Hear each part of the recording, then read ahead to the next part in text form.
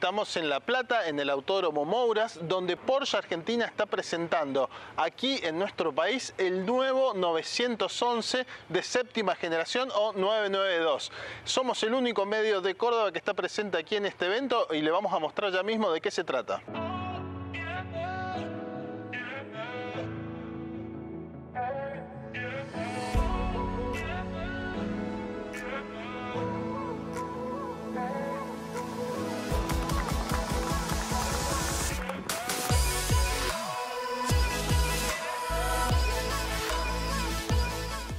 Vamos a tener una oportunidad realmente única porque no solamente vamos a poder manejar este nuevo 911 que va a salir a la venta en los próximos meses aquí en Argentina, sino que además tenemos por ejemplo un GT3, un modelo de competición realmente muy muy muy interesante y lo vamos a poder manejar nada menos que en la pista. Como se podrán dar cuenta el día está bastante húmedo lo cual aumenta un poco la diversión se puede decir de, manejar este tipo de autos. Pero antes de manejar déjenme que les muestre un poquito el diseño de este nuevo Porsche 911.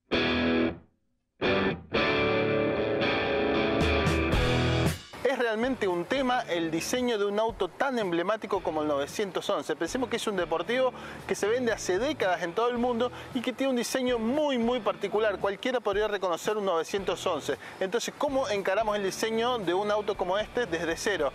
Bueno, es complejo porque tiene que tener una silueta 911 y a la vez tiene que ser novedoso para el cliente que ya tuvo o ya en algún momento quiere renovar el modelo. Les quiero decir que a mí me encantó el diseño de este nuevo 911. Realmente me parece que está logradísimo.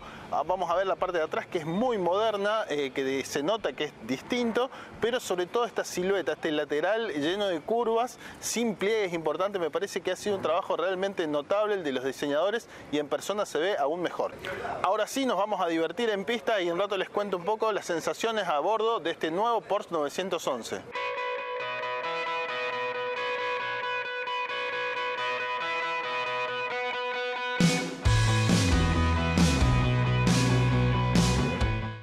El nuevo 911 viene con un motor 3 litros de cilindrada boxer con dos turbos y 450 caballos de potencia. La caja, en tanto, es una PDK de 7 marchas y doble embrague. Puede acelerar de 0 a 100 en 3,7 segundos y la velocidad máxima es de 308 km por hora el desempeño en pista es realmente sobresaliente gracias a que es más potente y más liviano que su predecesor.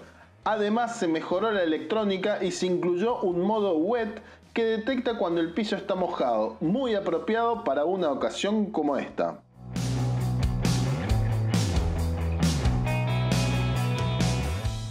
Tenemos una oportunidad única, estamos por probar antes que llegue a nuestro mercado el nuevo Panamera pero con motor híbrido. Son más de 700 mm, newton metro de torque, lo cual es una cosa realmente impresionante. Esto si bien no es un deportivo 100%, la verdad que las sensaciones en la pista son increíbles.